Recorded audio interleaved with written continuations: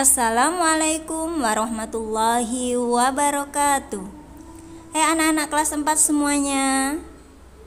Hari ini kita akan belajar tentang Al-Islam. Materinya tentang surat Al-Qadar. Kita hafalkan bersama-sama yuk. A'udzu billahi minasyaitonir rajim بسم الله الرحمن الرحيم إنا أنزلناه في ليلة القدر وما أدراك ما ليلة القدر خير من ألف شهر. تنزل الملائكة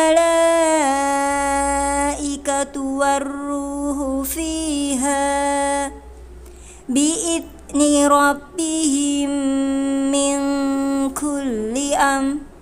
سلام هي حتى مطلع الفجر. Yang artinya sesungguhnya kami telah menurunkannya yaitu Al-Qur'an dan tahukah kamu apakah malam kemuliaan itu? Malam kemuliaan itu lebih baik dari seribu bulan. Pada malam itu turun malaikat-malaikat dan malaikat Jibril dengan izin Tuhannya untuk mengatur segala urusan. Malam itu penuh kesejahteraan sampai terbit fajar Nah, kesimpulannya surah Al-Qadar terdiri dari lima ayat yang merupakan surah ke-97 dalam mushaf Al-Quran dan termasuk surah Makkiyah. Surah ini diturunkan setelah surah Ahbasa.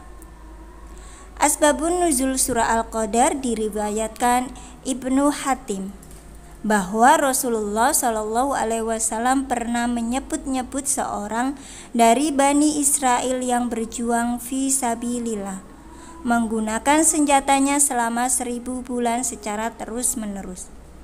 Dalam surat Al-Qadar diterangkan bahwa Allah Subhanahu wa taala menurunkan Al-Qur'an pada malam kemuliaan yang ada dalam bulan Ramadan. Hal ini dijelaskan oleh Allah Subhanahu wa taala dalam surat Al-Baqarah ayat 185. Nah, anak-anak, itu tadi penjelasan dari surat Al-Qadar. Uh, sampai di sini dulu ya penjelasannya. Ingat, jangan lupa sholat lima waktu, belajar setiap hari, membaca Al-Quran setiap hari, membantu orang tua, dan jaga kesehatan. Ustazah akhiri, wassalamualaikum warahmatullahi wabarakatuh.